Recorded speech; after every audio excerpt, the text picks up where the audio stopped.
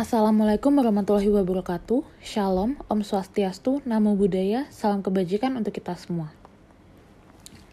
Halo teman-teman, kami dari kelompok 1 Internet of Things kelas E.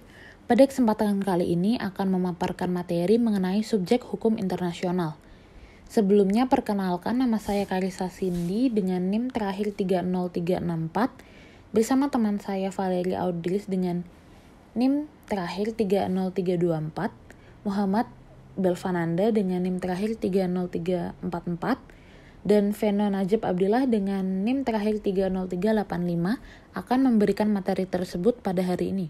Sebelum membahas lebih lanjut mengenai subjek hukum internasional, apa sih sebenarnya hukum internasional itu? Menurut Charles Cheney Hyde, hukum internasional dapat didefinisikan sebagai sekumpulan hukum yang sebagian besar terdiri atas prinsip-prinsip dan peraturan-peraturan yang harus ditaati oleh negara-negara. Dan oleh karena itu juga harus ditaati dalam hubungan-hubungan antara mereka satu dengan lainnya. Hukum internasional terbagi menjadi dua, yaitu hukum internasional publik dan hukum perdata internasional. Perbedaan mendasar dari hukum internasional publik dengan hukum perdata internasional yaitu terletak pada subjek hukumnya – yang menjadi subjek hukum hukum perdata internasional adalah hukum perdata. Sedangkan yang menjadi subjek hukum hukum internasional publik adalah hukum internasional.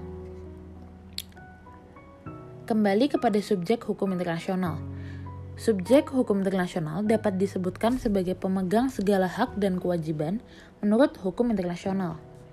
Di samping pengertian tersebut, ada juga pengertian subjek hukum internasional dalam arti yang lebih luas, di mana menyakup kenyataan bahwa yang dimiliki oleh subjek hukum tersebut hanyalah hak dan kewajiban yang terbatas. Contoh subjek hukum internasional dalam arti terbatas ini adalah orang perorangan atau individu. Banyak ahli memberikan definisi mengenai apa yang dimaksudkan dengan subjek hukum internasional. Secara umum, subjek hukum diartikan sebagai pendukung hak dan kewajiban. Jadi pengertian subjek hukum internasional adalah pendukung hak dan kewajiban dalam hukum internasional.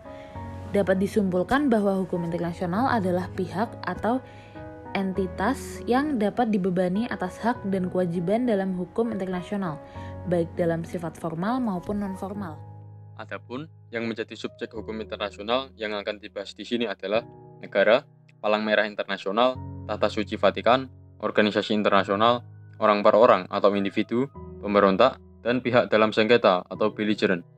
Sedangkan beberapa subjek yang dianggap masih baru, seperti perusahaan multinasional, non-government organization, dan lainnya tidak akan dibahas lebih lanjut di sini.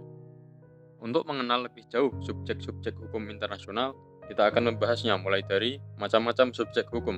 Yang pertama, negara. Menurut Van Wijk, negara adalah suatu masyarakat politik yang diorganisasikan secara tetap untuk menduduki suatu daerah tertentu dan hidup dalam batas-batas daerah tersebut. Bebas dari negara lain sehingga dapat bertindak sebagai badan yang merdeka di muka bumi. Untuk mendirikan suatu negara, maka diperlukan syarat konstitusi, yaitu adanya penduduk yang tetap, adanya wilayah tertentu, adanya pemerintah, adanya kedaulatan, yaitu kemampuan untuk melakukan hubungan-hubungan dengan negara lain. Yang kedua, Palang Merah Internasional.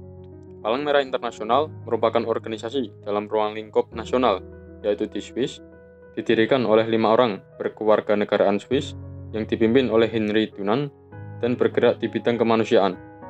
Palang Merah Internasional yang berkedudukan di Jenewa mempunyai tempat tersendiri dalam sejarah hukum internasional.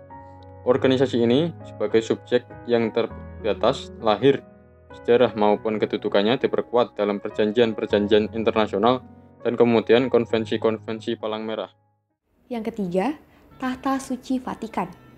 Tata suci memiliki hukum dan kewenangan penuh sebagaimana kedudukan yang dimiliki oleh negara. Hal ini timbul sejak diadakan perjanjian antara Italia dengan Tata Suci.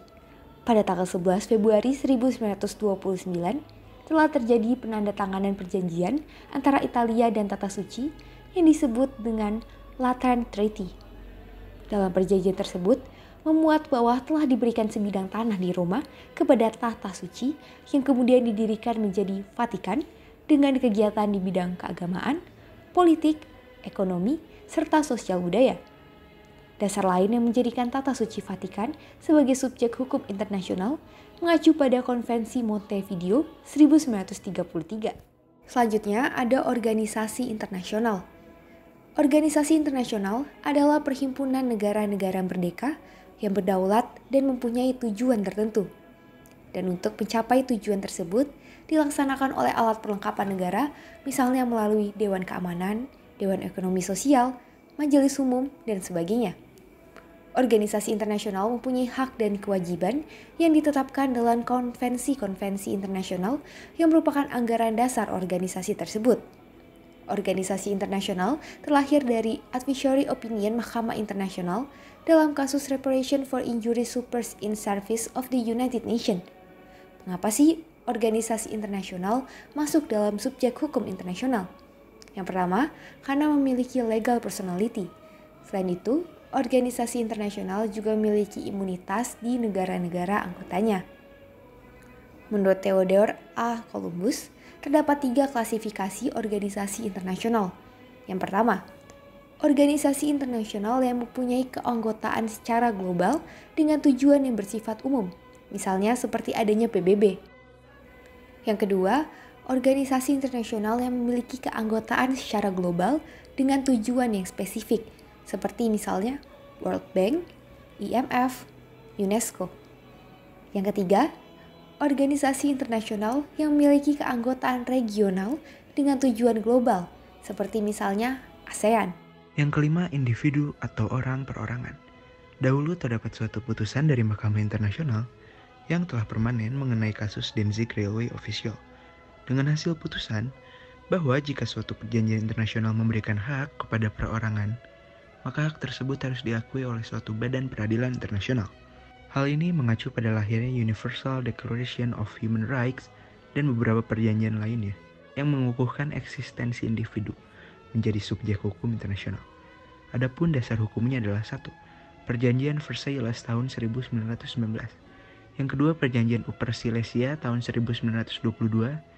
Yang ketiga, Keputusan Perbanan Court of Justice tahun 1928 yang keempat, Perjanjian London tahun 1945 antara Inggris, Prancis, Rusia, dan Amerika Serikat. Dan yang terakhir, Konvensi Genocide tahun 1984. Dan yang terakhir ada pemberontak dan pihak yang bersengketa. Adalah kelompok warga negara yang melawan pemerintah yang sah di negaranya, tetapi hanya memiliki legal personality yang terbatas. Adapun kriterianya yakni 1. Angkatan perang 2. Peperangan antara pihak yang sesuai dengan hukum perang 3 kapal-kapal perang yang merupakan kapal sah dan bukan bajak laut. 4. Blokade yang dilakukan di laut. 5. Harus menguasai beberapa wilayah dalam suatu negara. 6. Menjalankan pemerintahan yang teratur sebagai tandingan terhadap pemerintah yang berkuasa. 7. Bersedia melindungi warga negara asing dan harta bendanya. Adapun menurut Lauterpack mengatakan bahwa syarat untuk dikatakan sebagai pemberontak adalah satu, adanya peperangan sipil yang diikuti dengan serangan pertikaian terbuka. Dua, adanya penduduk wilayah tertentu dan penyelenggaraan pemerintahan. Tiga, dipimpin oleh seorang pemimpin yang, yang bertanggung jawab terhadap anak buahnya. Dan yang terakhir adanya negara ketiga yang menyatakan sikapnya terhadap pertikaian tersebut. Mungkin sekian video ujian akhir semester mata kuliah Internet of Things dari kelompok 1 kelas E Fakultas Hukum Universitas Diponegoro tahun 2021. Terima kasih yang sudah menonton. Mohon maaf jika terjadi kesalahan dan jangan lupa like, share, and subscribe.